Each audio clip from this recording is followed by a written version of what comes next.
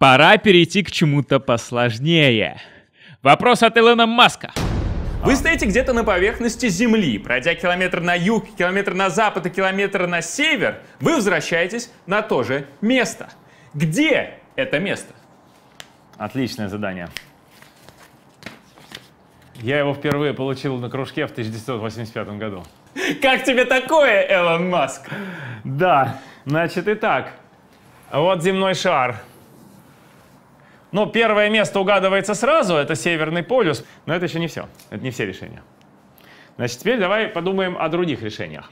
Во-первых, давай отметим зону, где вообще нельзя э, исполнить условия задачи. Где? Очевидно, на Южном полюсе. Ну да, или в окрестности шапочки 100-километровой от него. В любой точке здесь просто нельзя пройти 100 километров на юг, потому что Юга больше не будет. юга больше не будет, да. Рассмотрим как бы эм, зону, да, вне Северного полюса и вне вот этой шапки.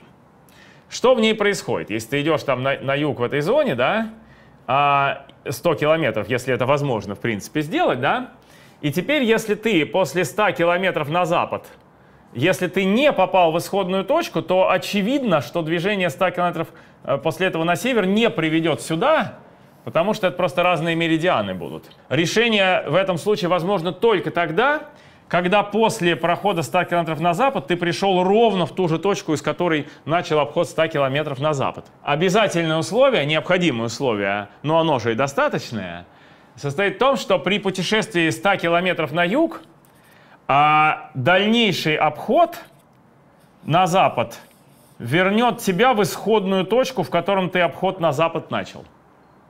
А следовательно, это происходит тогда и только тогда, когда длина э, а, ну, окружности широты, вот этой, длина широты всей, целый делите часа 100 километров. Ну, например, если Ну ты... или в нашей задаче километр мы взяли один километр. Значит, соответственно, первый вариант стоит в том, что она про- просто в точности равна. Вот, ну сколько? В нашем случае один километр, да, везде нули. Э, нули везде стираем, да. Вот, значит, либо это просто однокилометровая окружность, то есть радиус, ну вот от Южного полюса, Южный полюс нужно отступить там чуть меньше, чем на 200 метров. Вот. И тогда, если ты и потом, значит, на километр уйти, вот в любой, в любой точке окружности широты, которая находится на расстоянии 1 плюс 1 делить на 2π, это условие соблюдается в любой точке. То, что идешь сюда, просто раз и дальше. Но это еще не все решения. Потому что ты же можешь эту окружность описать дважды. И тогда ты вернешь тоже в исходную точку. То есть также годится 1 плюс 1 на 4π, 1 плюс 1 на 6π. И вообще окончательный ответ такой.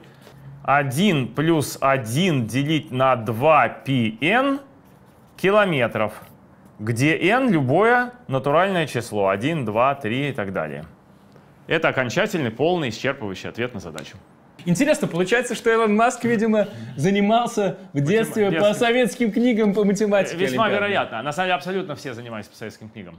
А, как бы за- зада- самое главное задание, которое имел а, значит, Вашингтон в 85-86 году, это непременно полностью уничтожить эту величайшую систему образования, которую когда-либо знал мир. Но все-таки Но мы им помогли. Не удалось, не удалось, не удалось. Мы вначале начали радостно им помогать, а потом вдруг встрепенулись и появились богатыри, как обычно на Руси. Богатыри. И начали разворачивать ход истории назад.